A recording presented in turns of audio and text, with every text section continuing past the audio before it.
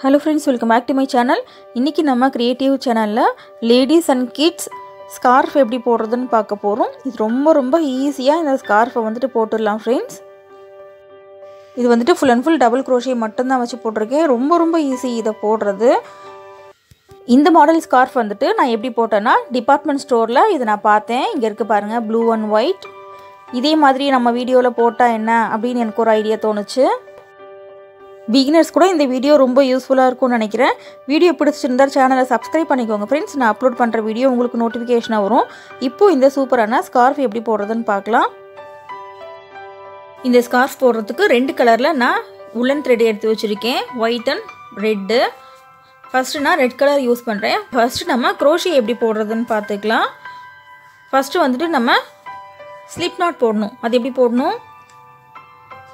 இது ரோலோட ஜாயிண்ட் ஆகிருக்கு பாருங்கள் இந்த ஒயர் பேஸ்கெட்டில் சொல்லித்தர மாதிரி சொல்லித்தரேன். இந்த ரோலோட ஜாயிண்ட் ஆகிருக்கு இது. இந்த சின்ன நூல். இதை எடுத்து இப்படி பின்னாடி இப்படி வைக்கணும். வச்சுட்டு இந்த லூப்புக்குள்ளே நீடில் போட்டு இதை இப்படி வெளியே எடுக்கணும். எடுத்துகிட்டு இப்படி டைட் பண்ணிடலாம். இது சுருக்கு தான் இதை நீங்கள் எப்படி வேணால் போட்டுக்கலாம். இப்போ நம்ம ஃபஸ்ட்டு செயின் போடணும். செயின் எந்த அளவுக்கு போடணும் ஸ்கார்ஃப் எந்த அளவுக்கு போடணும்னா நான் கடைசியில் சொல்கிறேன் இப்போவே சொன்னால் உங்களுக்கு குழப்பமாயிரும். ஸோ எப்படி நீங்கள் போடுறதுன்றதை மட்டும் தெரிஞ்சுக்கிட்டிங்கன்னாலே போதும். வீடியோ முழுசாக பார்க்கும்போது உங்களுக்கே அந்த ஐடியா வந்துடும் இப்போ நம்ம செயின் போடணும். செயின் எப்படி போடணுன்னா இப்படி நீடில் ஒரு ரவுண்டு இப்படி சுற்றிட்டு இந்த குட்டி இந்த ஹோல் இருக்கு பாருங்கள் இப்படி இது வழியாக இப்படி வெளியே வரணும். வரும்போது ரொம்ப பெருசாக இந்த செயின் பாருங்கள் பெருசாக இப்படியெல்லாம் வந்துடக்கூடாது. இவ்வளோ பெரிய செயின்லாம் இருக்கக்கூடாது. இவ்வளோ தான் இருக்கணும். நீடில் வெளியே வர அளவுக்கு தான் இருக்கணும். இந்த ஆள்காட்டி விரலை இப்படி நீடில் இந்த யானை இப்படி சுற்றிக்கோங்க இந்த ரெண்டு விரலால் இந்த இடத்துல இப்படி டைட்டாக பிடிச்சிக்கணும். அவ்வளோதான் மறுபடியும் இந்த லெஃப்ட்லேருந்து ரைட்டு இப்படி எடுத்து இப்படி வெளியே எடுக்கணும். எடுக்கும்போது இந்த ஹோல் வந்துட்டு இந்த அளவு தான் இருக்கணும். ரொம்ப பெருசாக இருந்துச்சுன்னா நம்ம கிராச்செட் ஒர்க் வந்துட்டு ரொம்ப ஹோல் வந்துட்டு பெருசாக தெரியும் ரொம்ப லூஸாக இருக்கும். இந்த அளவுக்கு இப்படியெல்லாம் இருக்கக்கூடாது. இதை இப்படியே அட்ஜஸ்ட் பண்ணிக்கலாம். இப்படி நீங்கள் கையில் சுற்றிக்கிட்டிங்கன்னா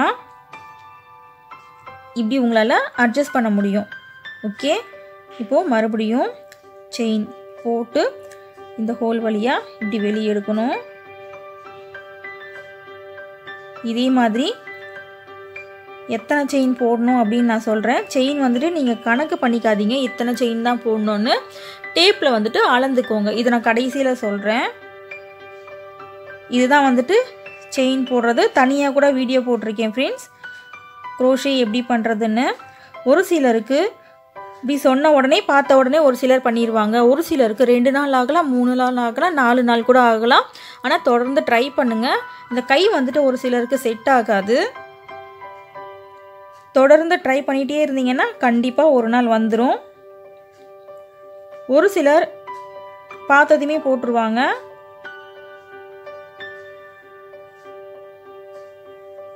க்ரோஷே எப்படி போட்டு பழகிறதுன்னு ஒரு தனி வீடியோ போட்டிருக்கேன் ஃப்ரெண்ட்ஸ் அதை நான் டிஸ்கிரிப்ஷனில் கொடுக்குறேன். பார்த்துக்கோங்க. இப்படி தான் செயின் போடணும்.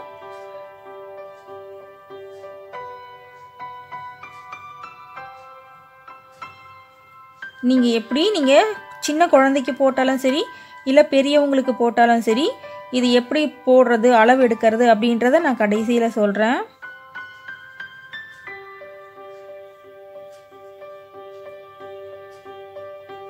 இப்போ நான் இந்த செயினை ஸ்பீடாக போட்டு காமிக்கிறேன் பாருங்கள்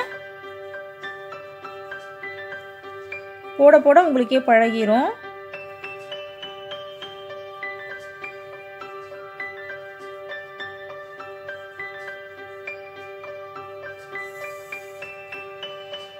இப்படி தான் செயின் போடுறது. ஓகே இப்போ உங்களுக்கு செயின் எப்படி போடுறதுன்னு தெரிஞ்சிருக்கும். அடுத்து நம்ம இந்த ஸ்கார்ஃப் ஃபுல்லாகவே நம்ம டபுள் க்ரோஷேயில் தான் போட போகிறோம் அடுத்து டபுள் க்ரோஷே எப்படி பண்ணுறதுன்னு பார்க்கலாம். இதில் எந்த அளவுக்கு செயின் போட்டிருக்கேன்னு காமிக்கிறேன். இந்த ஒரு சென்டிமீட்டர் இங்கே இருந்து வைக்கிறேன். ரொம்ப இழுக்காமல் இதை இழுக்கணுன்னா ரொம்ப பெருசாக அப்படி பிடிச்சி கூட இழுக்கலாம்.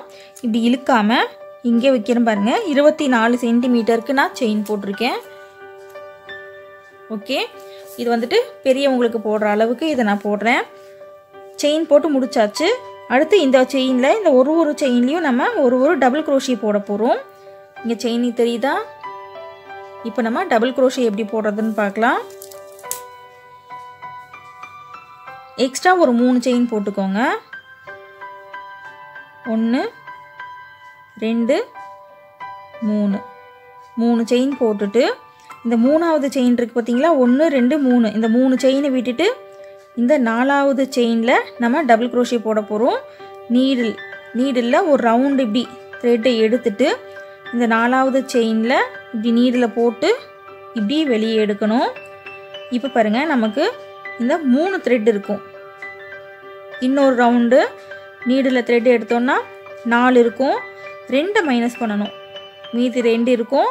மறுபடியும் நீடில் அந்த த்ரெட்டை எடுத்துகிட்டு இந்த ரெண்டுத்துலேருந்தும் இப்படி வெளியே வந்துடணும். இதுதான் டபுள் க்ரோஷே இப்போ இன்னொரு முறை போட்டு காமிக்கிறேன் பாருங்கள் நீடில் ஒரு ரவுண்டு த்ரெட்டை எடுத்துகிட்டு இந்த செயினில் போட்டாச்சு. இப்போ அதுக்கு பக்கத்து செயினில் இந்த ஹோலில் இப்படி விட்டு இப்படி வெளியே எடுக்கணும். மூணு த்ரெட் இருக்கும். ஒரு ரவுண்டு சுற்றிட்டோன்னா நாலு த்ரெட் இருக்குது பார்த்தீங்களா ரெண்டை மைனஸ் பண்ணிட்டா மீதி ரெண்டு இருக்கும்.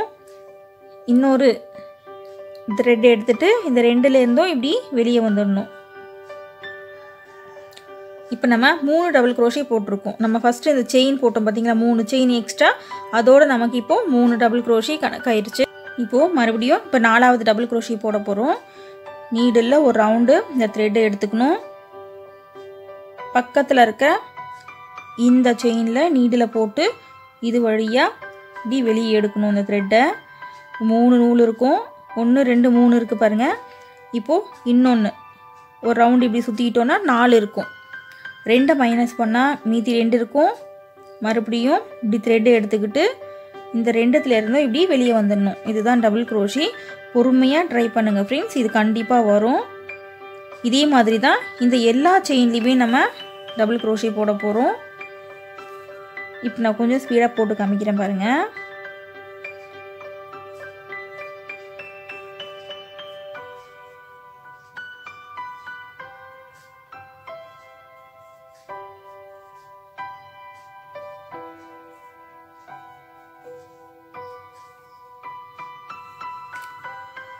இது பிகினர்ஸ்க்காக இந்த மாதிரி நான் பொறுமையாக செஞ்சு காமிக்கிறேன். இதே மாதிரி தான் ஃப்ரெண்ட்ஸ் டபுள் குரோஷே போடணும். பிகினர்ஸ்க்காக இது ரொம்ப பொறுமையாக கொஞ்சம் சொல்லி கொடுத்தேன். இனி நம்ம கொஞ்சம் ஸ்பீடாக போயிடலாம். ஃபஸ்ட்டு உங்களுக்கு பேசிக் கிளியராக போட தெரியணும் அப்போ தான் வந்துட்டு பெரிய பெரிய கிராச்செட் ஒர்க்லாம் உங்களால் பண்ண முடியும்.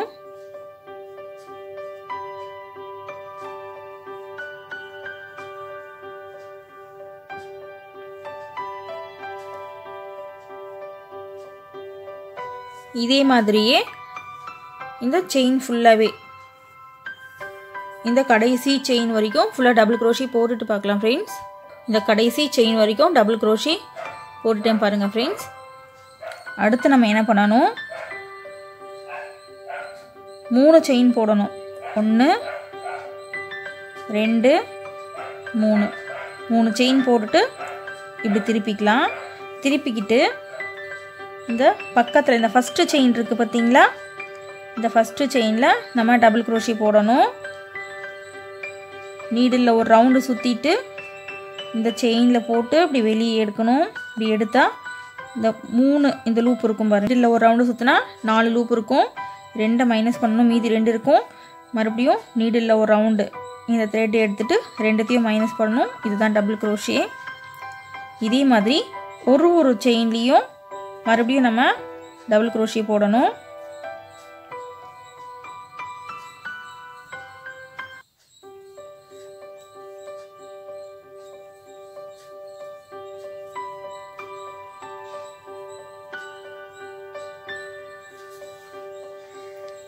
இதே மாதிரி இந்த ரெட் கலரில் இது ஃபுல்லாகவே டபுள் குரோஷி போட்டுட்டு பார்க்கலாம் ஃப்ரெண்ட்ஸ்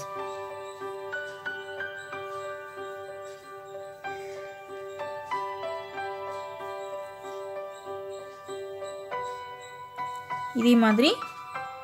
இது ஃபுல்லாகவே இந்த லாஸ்ட் இந்த செயின் வரைக்குமே டபுள் குரோஷி போடணும். ஃபுல்லாக போட்டுட்டு பார்க்கலாம். ரெண்டு ரோ டபுள் குரோஷி போட்டு முடிச்சாச்சு. இங்கே இருக்குது பார்த்தீங்களா இதை நம்ம கட் பண்ணிடலாம். அடுத்து ஒயிட் கலர் ஜாயின் பண்ண போகிறோம்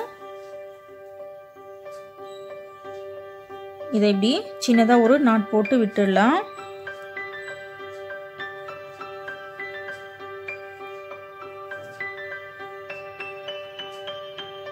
ஒரே ஒரு முடிச்சு போட்டால் போதும்.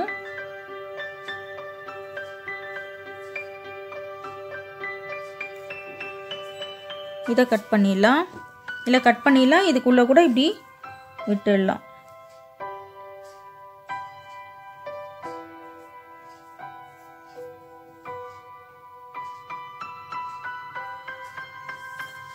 அவ்வளோதான் அடுத்து இன்னொரு கலர் எப்படி ஜாயின் பண்ணுறதுன்னு பார்க்கலாம்.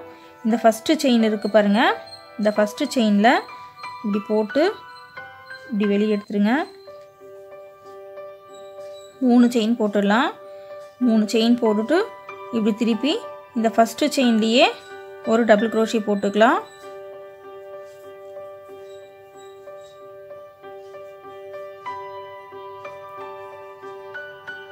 ரெண்டாவது செயினில் ஒரு டபுள் க்ரோஷி இதே மாதிரி ஒரு ஒரு செயின்லேயும் ஒரு ஒரு டபுள் குரோஷி போடணும்.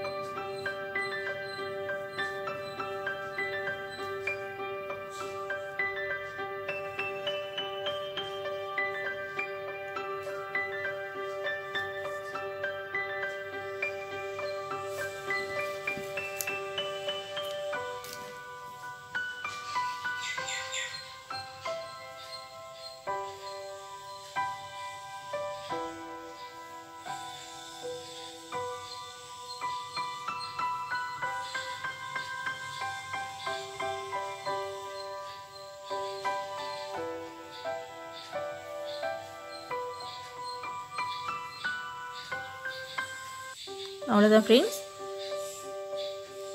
இதே மாதிரி இந்த ஒயிட் கலர் இந்த கடைசி வரைக்கும் இந்த கடைசி செயின் வரைக்கும் போட்டுட்டு பார்க்கலாம். ஒயிட் கலரும் இங்கேருந்து இது வரைக்கும் போட்டு முடிச்சிட்டேன் பாருங்கள் ஃப்ரெண்ட்ஸ் இந்த மாதிரி நம்ம ஒர்க் பண்ணும்போது கிராச்சட் ஒர்க் பண்ணும்போது என்ன ப்ராப்ளம் வரும்னா இங்கேருந்து நம்ம லாங்காக போட்டு போவோம் ஒரு ஸ்கார்ஃப் மாதிரியோ இந்த மாதிரியோ. என்ன ஆகும்னா இங்கேருந்து அப்படியே குறைஞ்சிக்கிட்டே வரும். அந்த மாதிரி ப்ராப்ளம் வரக்கூடாதுன்னா நீங்கள் என்ன பண்ணணும்? இந்த கடைசி செயினில் போட்டாச்சு கடைசி செயினில் போட்டாலும் இந்த இடத்துல ஒரு இப்படி ஒரு டபுள் குரோஷி போட்டுருங்க. அப்போ தான் வந்துட்டு உங்களுக்கு மடங்காது. கரெக்டாக அந்த ஸ்ட்ரைட்டாக வந்துட்டு வந்துட்டுருக்கோம். இப்போ மூணு செயின் போட்டுக்கலாம். மூணு செயின் போட்டுட்டு இப்படி திருப்பிக்கோங்க. திருப்பிக்கிட்டு இங்கே என்ன பண்ணணும்னா இந்த ஃபஸ்ட்டு செயின்லேயே ஒரு டபுள் க்ரோஷி போடணும். இந்த மாதிரி போடும்போது உங்களுக்கு கரெக்டாக வரும். கம்மியாகாது. இப்போது அடுத்த அடுத்த செயினில் ஒரு ஒரு டபுள் க்ரோஷி போட வேண்டியது தான்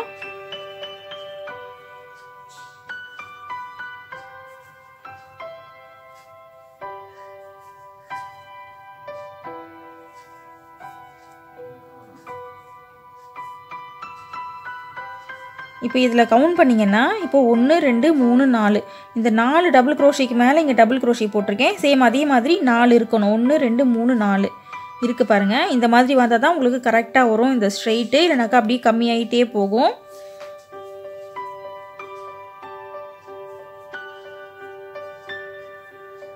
அவ்வளோதான் ஃப்ரெண்ட்ஸ் இது வரைக்கும் உங்களுக்கு தெளிவாக புரிஞ்சிருக்கும்னு நினைக்கிறேன்.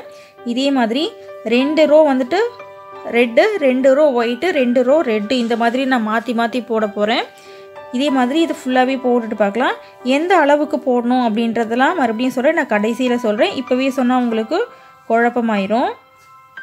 ஃபஸ்ட்டு வந்துட்டு இந்த மெத்தட் எப்படி இந்த ஸ்கார்ஃப் போடுற மெத்தடை மட்டும் நீங்கள் தெரிஞ்சுக்கிட்டிங்கன்னா போதும். ஆட்டோமேட்டிக்காக எந்த சைஸ்க்கு வேணால் நீங்கள் போட்டுக்கலாம். இந்த ஒர்க் பண்ணும்போது வர ப்ராப்ளம் என்னென்னா இங்கேருந்து இப்படியே சின்னதாகிட்டே போகும் நீட்டமாக அந்த மாதிரி வராத அளவுக்கு மட்டும் கொஞ்சம் பார்த்துக்கோங்க. இதே மாதிரி ரெண்டு ரோ மெரு ரெட்டு ரெண்டு ரோ ஒயிட்டு ரெண்டு ரோ ரெட்டு இந்த மாதிரி நான் மாற்றி மாற்றி போட போகிறேன் இதே மாதிரி ஃபுல்லாகவே போட்டுட்டு பார்க்கலாம். இப்போ இதை நான் இவ்வளோ பெருசு போட்டிருக்கேன் பாருங்கள் ஃப்ரெண்ட்ஸ் இதை நான் எந்த அளவில் போட்டேன்னா இது இருக்குது பாருங்கள் இதை எடுத்து உங்கள் தலை மேலே போட்டிங்கன்னா இப்படி போடணும். இப்படி போடும்போது இந்த ரெண்டு கார்னரும் உங்கள் காதை பாதி காதை வந்துட்டு மறைக்கணும். ஃபுல் காதை மறைக்கக்கூடாது. இப்படி இது நீங்கள் இப்படி தலை மேலே போட்டிங்கன்னா இதுதான் உங்கள் தலை. இந்த ரெண்டு பக்கம் வந்துட்டு உங்கள் பாதி காதை மறைக்கணும். ஓகே இது வரைக்கும் புரியுதா? இப்போ இது ரெண்டு பக்கமும் ஒரே அளவு இருக்குது பாருங்கள் அப் அண்ட் டவுன் இல்லாமல் இந்த மாதிரி போட்டுக்கணும். ஓகே நெக்ஸ்ட் என்ன பண்ண போகிறோம் இது ஃபுல்லாக போட்டுட்டு இது உங்கள் தலை மேலே போட்டிங்கன்னா பாதி காதை மறைக்கணும். ஓகே குழந்தைங்கனானாலும் சரி பெரியவங்களாக இருந்தாலும் சரி. நெக்ஸ்ட்டு நம்ம என்ன பண்ணணும்? இதை இப்படி இப்படி மடிச்சுக்கலாம். இப்படி நீளமாக இருக்குது பாருங்கள் இது சின்ன பக்கம் இதை மடிக்கக்கூடாது. இது நீளமாக இருக்குது பாருங்கள் இதை மடிக்கணும். இப்படி தான் உங்கள் தலை மேலே நீங்கள் போட போகிறீங்க இது வந்துட்டு காதுகிட்ட வரும். இது வந்துட்டு உங்கள் தலை மேலே வரும். ஓகே? இப்போது இது வரைக்கும் விட்டுடலாம். இது வரைக்கும் விட்டுட்டு இங்கேருந்து இது வரைக்கும் என்ன பண்ண போகிறோம் மோட்டா ஊசி வச்சு நம்ம தைக்க போகிறோம்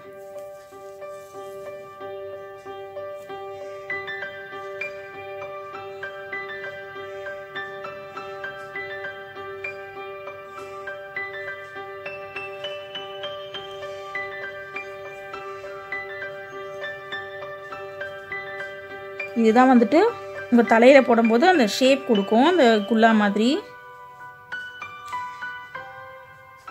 அவ்வளோதான்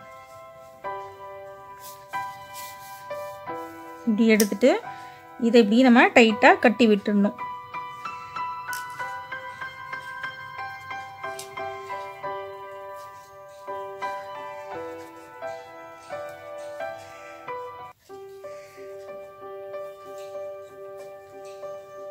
டைட்டாக கட்டி விட்டுடலாம். இப்போ இது வரைக்கும் உங்களுக்கு புரிஞ்சிருக்கோன்னு நினைக்கிறேன். இங்கே பாருங்கள் இது தலையில் இது பேக் சைடு இருக்கும். ஓகேவா இது நெத்தி பக்கம் வரும். இது வந்துட்டு உச்சந்தலையில் இந்த பின் பின் மண்டையில் வரும். ஓகேவா நெக்ஸ்ட் என்ன பண்ண போகிறோம்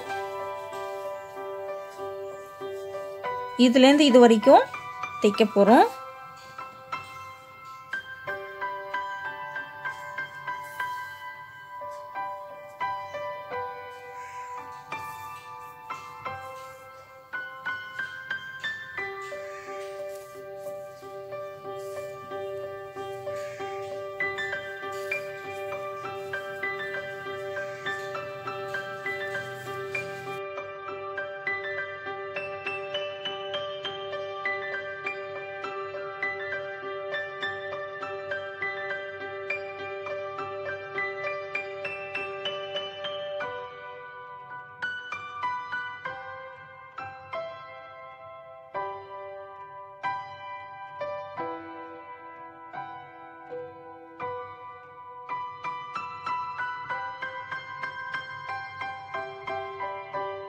இப்படி தைச்சி விட்டுட்டு இப்படி திருப்பி விட்டோம்னா நமக்கு 90% பர்சன்டேஜ் ஸ்கார்ஃப் ரெடி அடுத்து நம்ம என்ன பண்ணணுன்றதை பார்க்கலாம்.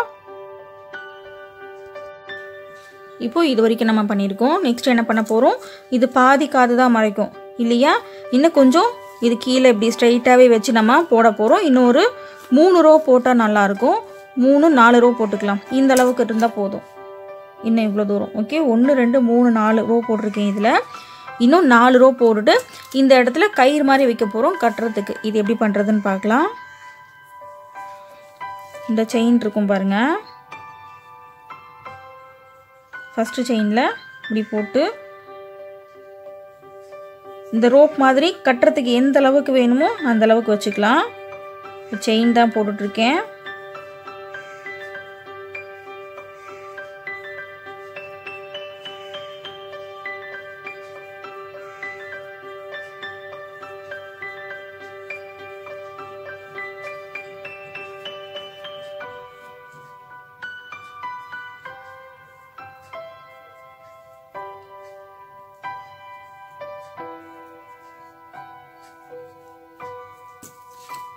இப்போ இங்கேருந்து இவ்வளோ தூரம் கட்டுறதுக்கு இருந்தால் போதும்னு நினைக்கிறேன்.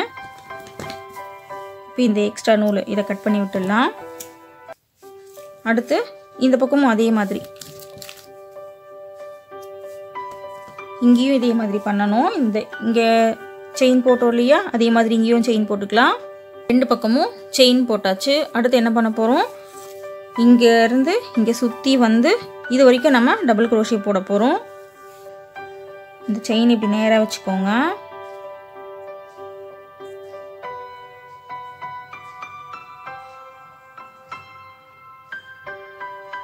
இந்த ஃபஸ்ட்டு செயினில் நீடில் அப்படி போட்டு இப்படி வெளியே எடுத்துக்கலாம். மூணு செயின் போட்டு ஆரம்பிக்கணும். ஓகேவா அப்போ தான் டபுள் குரோஷே நமக்கு கரெக்டாக வரும். மூணு செயின் போட்டாச்சு. அடுத்து இந்த ஃபஸ்ட்டு செயினில் ஒரு டபுள் குரோஷே ரெண்டாவது செயினில் ஒரு செயின் கூட மிஸ் பண்ணக்கூடாது. மிஸ் பண்ணிங்கன்னா இடையில வந்துட்டு ஓட்டை விழுந்த மாதிரி இருக்கும். ஒரு செயின் கூட மிஸ் பண்ணாமல் டபுள் குரோஷி போட்டுக்கலாம்.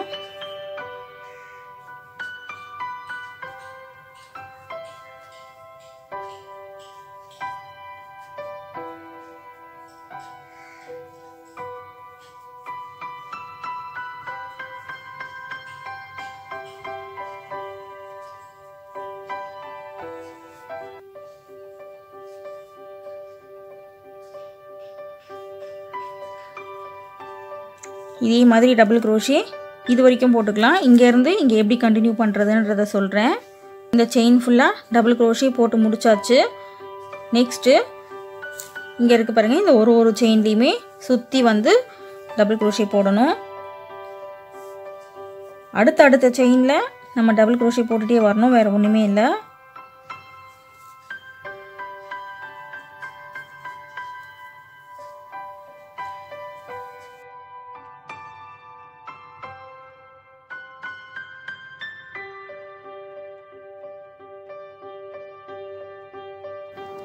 அவ்வளோதான் ஃப்ரெண்ட்ஸ் இது ஃபுல்லாகவே வந்துட்டு உங்களுக்கு டபுள் க்ரோஷே போட்டு காமிக்கணுன்ற அவசியம் இல்லைன்னு நினைக்கிறேன். உங்களுக்கே தெரியும்.